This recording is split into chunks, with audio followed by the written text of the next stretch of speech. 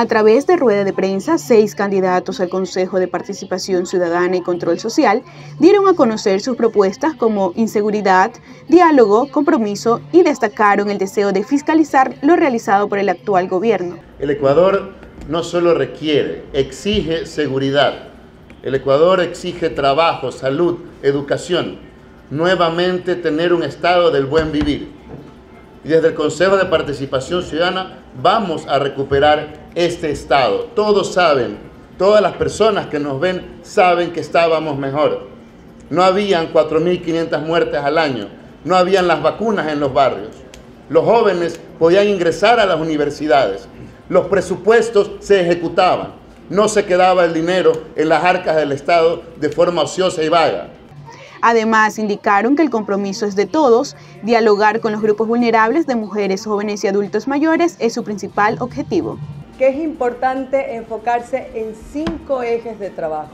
Y aquí no me voy a poder detener a hablar de cada uno de ellos, ya tendremos la oportunidad de hacerlo, pero uno de los más claves es la cercanía del Consejo a los barrios.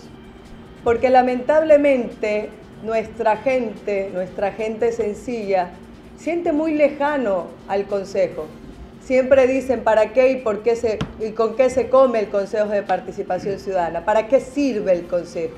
Y ahí la clave de la cercanía al barrio. La candidata Biel Capárraga detalló cómo realizar la votación correcta para este 5 de febrero. Luego pues de elegir a prefectos, alcaldes, a juntas parroquiales para zonas rurales, ¿sí? a concejales también de gobiernos autónomos descentralizados, obviamente van a encontrar la papeleta de la consulta popular.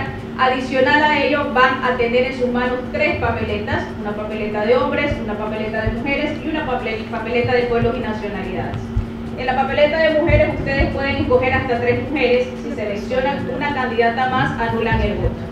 Es decir, que pueden seleccionar o pueden votar por mínimo una mujer y máximo tres. Lo mismo sucede con la papeleta de hombres. Mínimo un hombre, máximo tres hombres.